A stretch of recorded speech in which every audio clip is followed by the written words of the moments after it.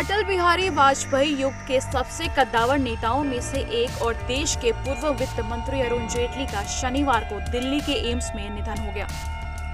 पिछले कुछ दिनों से वो अस्पताल में भर्ती थे और उन्हें देखने बीजेपी ही नहीं, बल्कि दूसरी पार्टी के नेताओं का तांता एम्स में लगा हुआ था।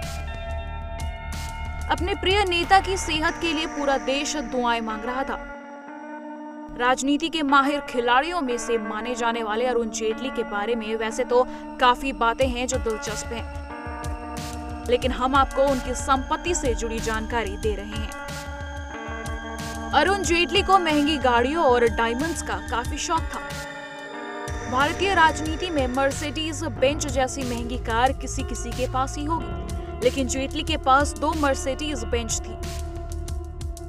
लाखों रुपयों का पीपीएफ फंड था।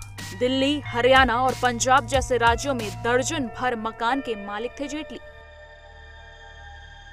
2018 में उन्होंने अपनी चुनाव आयोग को संपत्ति का ब्यौरा दिया था, जिनमें उन्होंने अपनी कुल प्रॉपर्टी 111 करोड़ रुपए बताई थी।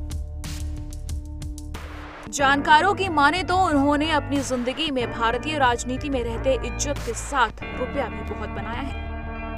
जिसका बीजेपी में काफ़ी अहम रोल रहा है। पार्टी की इकोनॉमी की बागडोर भी काफ़ी लंबे समय तक उनके ही हाथों में रही है। वहीं कॉरपोरेट घरानों के साथ उनके संबंध काफ़ी अच्छे रहे हैं। एफिडेविट की जानकारी के मुताबिक अरुण जेटली और उनकी पत्नी के पास 16 लाख अंठावन हज़ार छह सौ रुपए कैश है।